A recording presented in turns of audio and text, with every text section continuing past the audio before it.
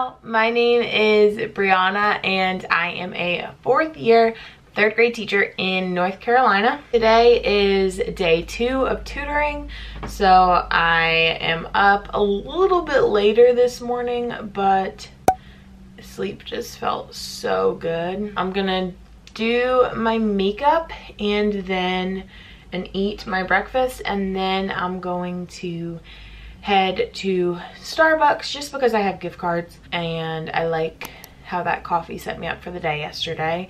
And then I'm also going to stop at Target Dollar Spot because I think I'm just going to buy two dry erase pockets because I don't have any whiteboards here and it would be really beneficial. Um, I think I'm going to go to my classroom on Thursday, but I would like some for today and since they're only a dollar, I'm just gonna pick some up to have here if this tutoring thing is really gonna be a thing. So that is that. Um, I'm gonna get ready and I'll see you guys in a little bit.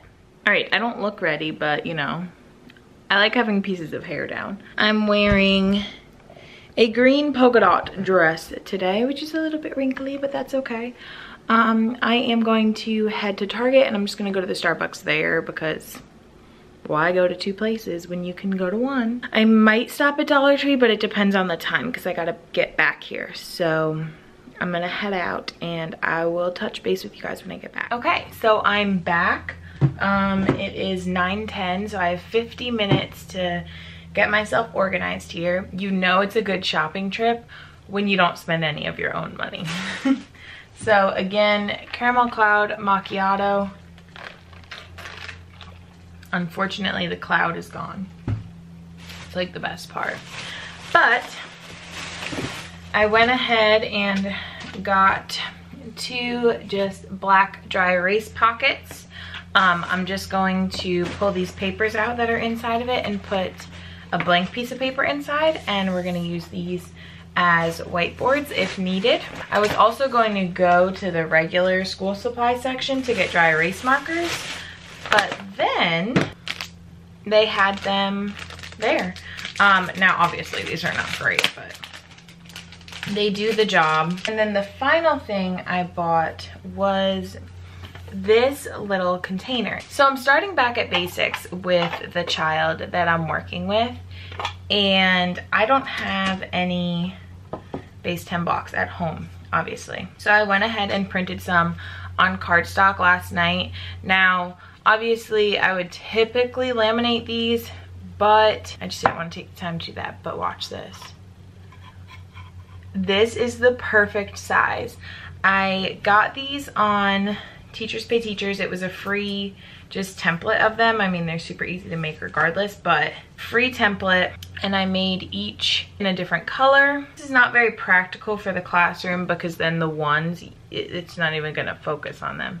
Like they're so tiny. This is what I'm working with right now and that is okay. They fit really nicely. And so if you're looking for a cute little um, divider, this was, so this little thing is a dollar, but it won't close. Okay, so the top is bowed for some reason. So, you know, it's worth that dollar, doesn't, doesn't close, but you get the idea. And this is really awesome just to keep them all in place. I'm going to start with base 10 today and I may go into other strategies, but we'll see how she does with that. I don't want to bombard her with too much, but here is my makeshift whiteboard. Perfect. Always keep my receipts. And I'm going to make a copy of the page with the problems just so she has also somewhere to write with pencil. Printed this mat. This is from, I'll link it down below, um, but this was a freebie too. I was just looking up many different subtraction strategies last night and I wrote them all down. I'm gonna be using this. I know these are not like the size of that, but at least it'll help her see that she needs to get 10 of those ones to replace the 10. This is a child who did not have Common Core math her whole life. So honestly, I know these are like a basis in math, but when I showed them to her, she had never seen them before. so that's that. Um, I also, I printed this page. This is from the same book that I used to pre-assess her yesterday. She's really good on her addition regrouping, so I'm not really gonna worry about the addition ones, but just so I didn't have to make something, I just copied this. But there's two rows here of two digit subtraction with regrouping, and then there's two rows at the bottom of three digit.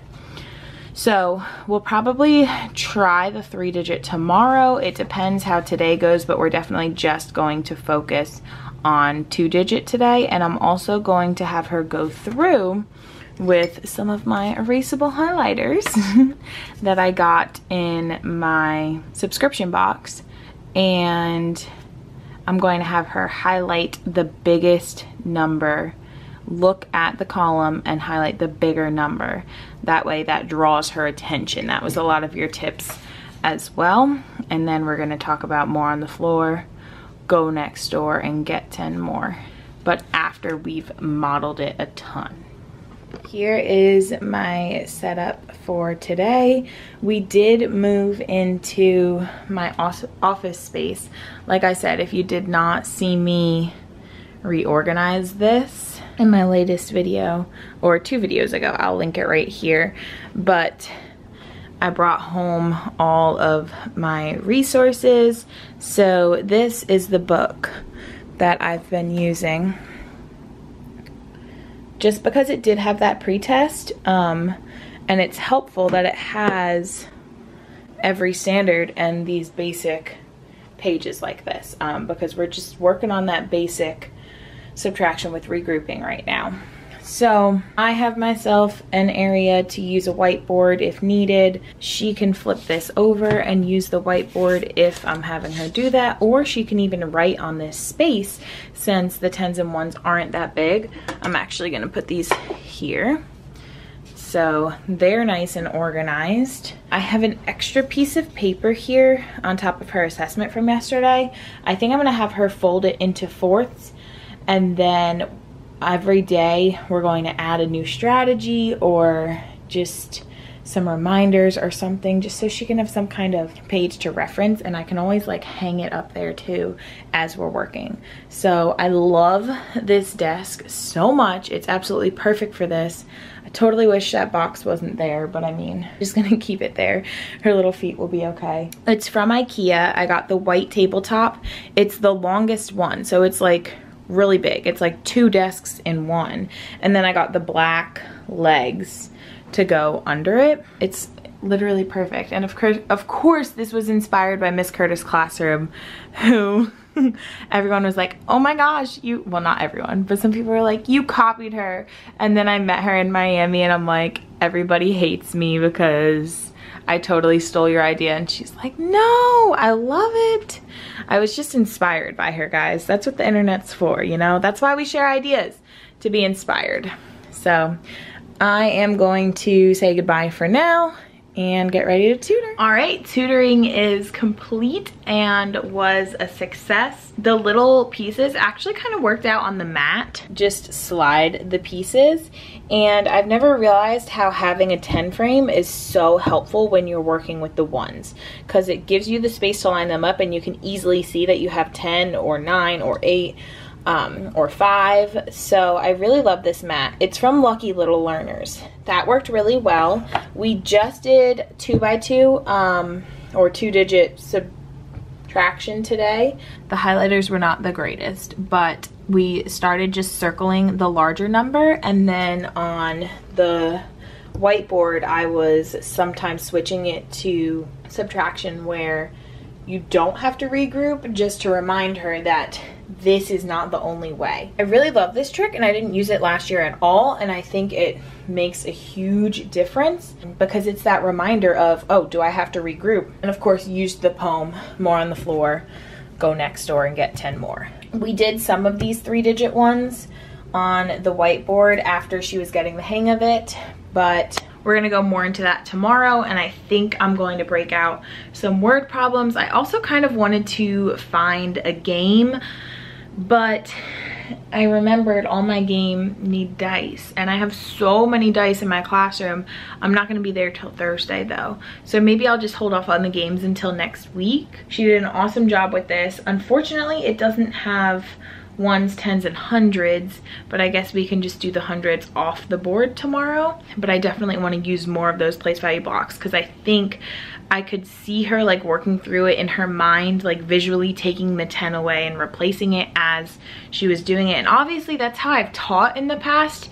It's just different when you have a huge group of kids versus one student because when you have the huge group, I feel like you rush through it.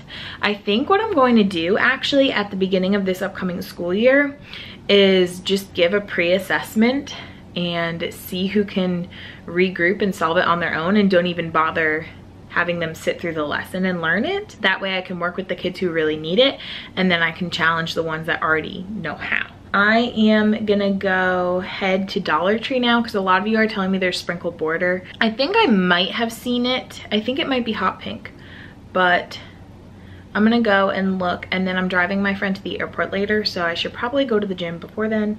Also there's like a centipede thousand legger thing on my floor so I'm gonna clean.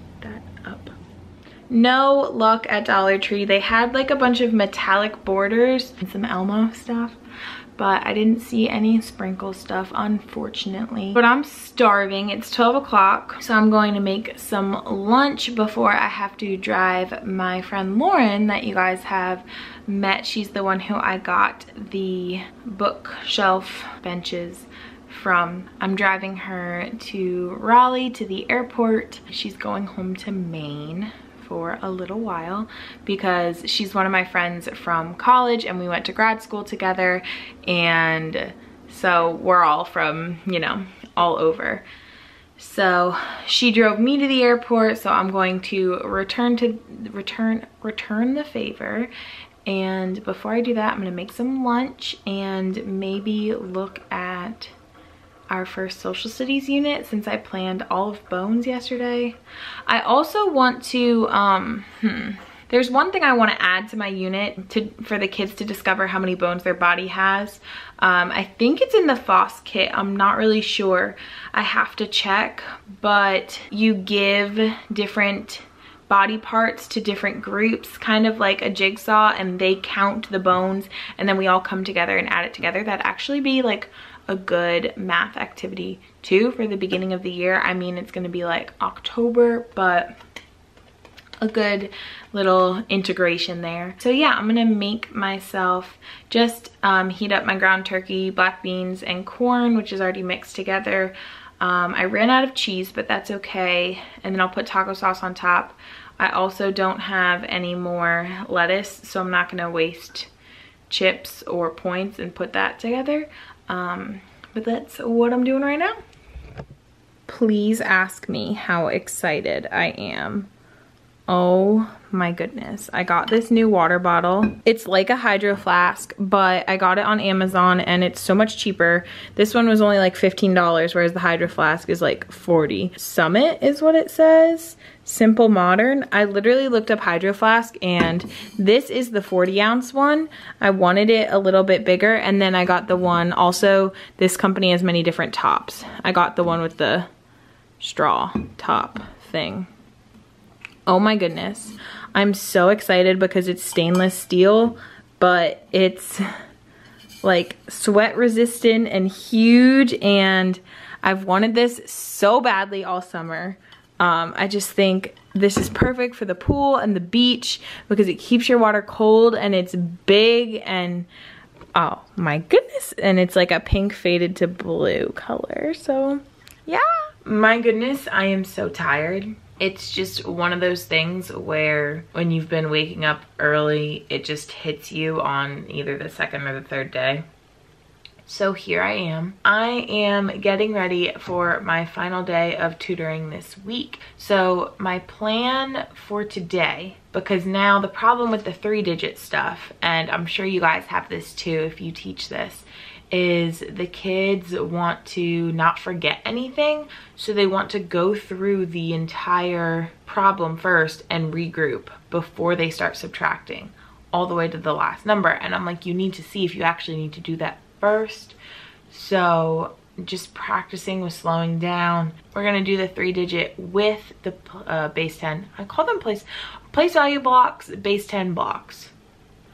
Same thing, right? I don't know. Base 10 blocks.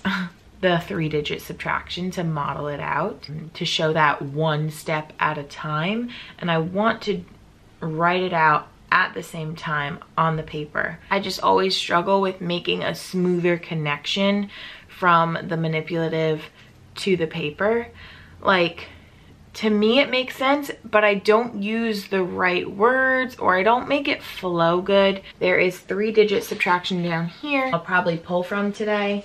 That is from the Common Core book that I showed you previously. Now the thing about that book is it's just skill based, so it does not have any word problems. So I went to my other resources. The game I have from the third grade pack I purchased from Games for Gains. This is just the squares game.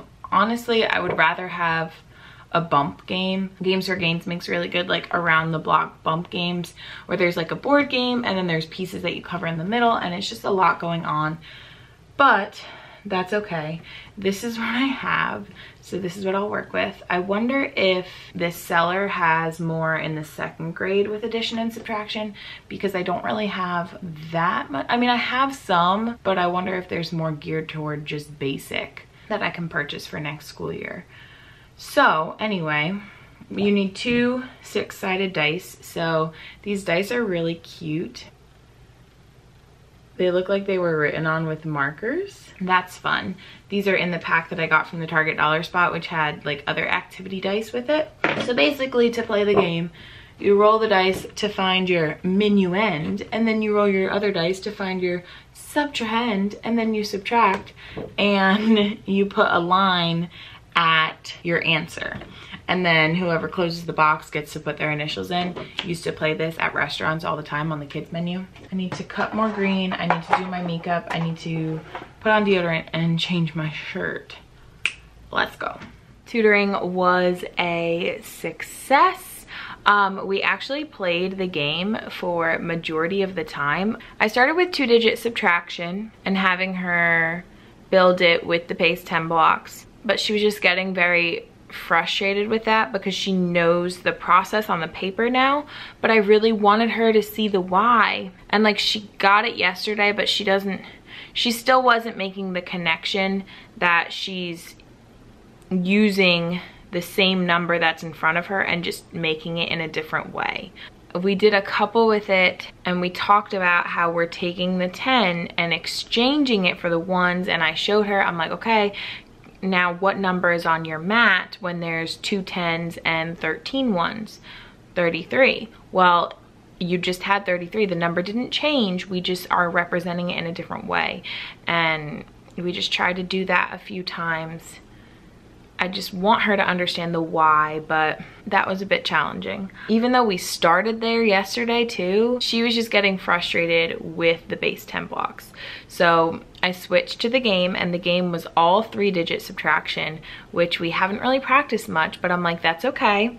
You roll the dice to get your two numbers that you have to subtract. So I'm like, I could teach her through this game. And she got the process and she could do it all very well. It was neat because when it was her turn, she would solve it. When it was my turn, I would solve it. However, I'd be writing. She would be walking me through the process, telling me what to do. I kept asking her why, reminding her that we are borrowing the 10 from next door and bringing it over. But she did fantastic. And we did two word problems and that was it. And we, there were problems mixed in there that she didn't have to borrow and she's recognizing that now. That was the main goal. She's recognizing when she has to go next door. She doesn't exactly understand what that is, even though I tried to show her with base 10 blocks.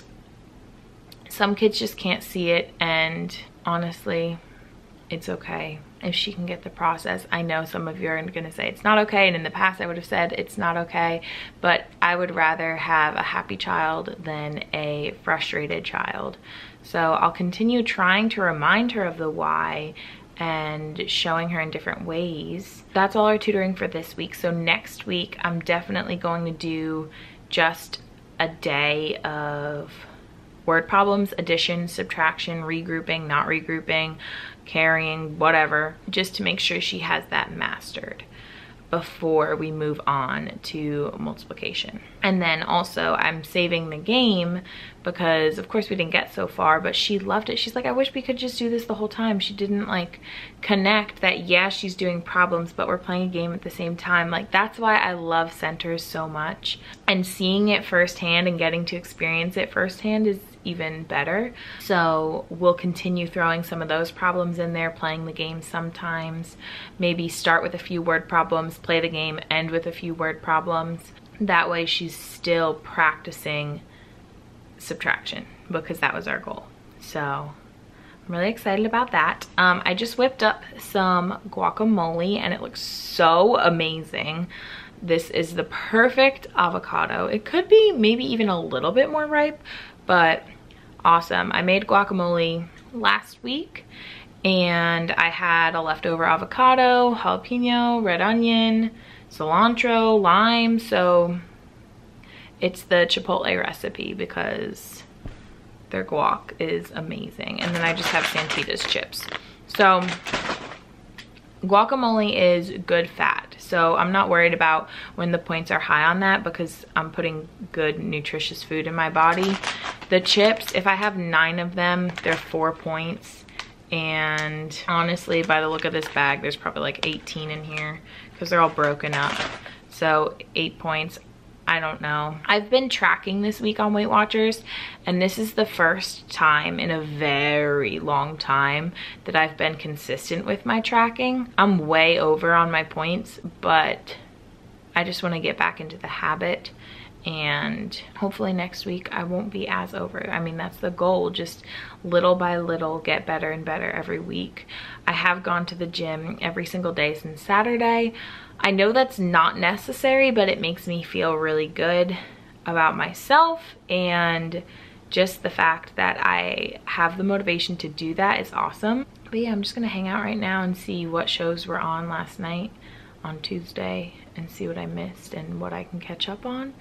And I'll probably plan a little bit later today. Okay, bye.